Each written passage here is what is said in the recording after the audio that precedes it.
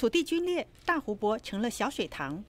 C'est exceptionnel, c'est un phénomène qui est, qui est, qui est complètement inédit, euh, tant par l'absence de précipitations, où vraiment le, le, le manque d'eau euh, s'est fait sentir dès le printemps.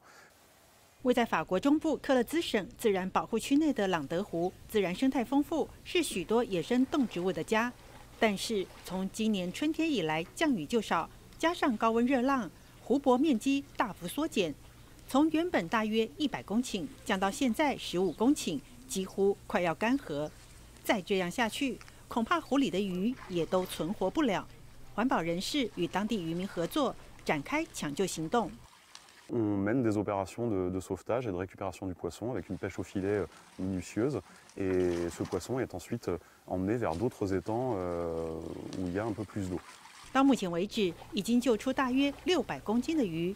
由于缺水情况严重，地方政府也采取限水措施，洗车与花园洒水都禁止。期待这波热浪早点结束。大新闻吕方编译。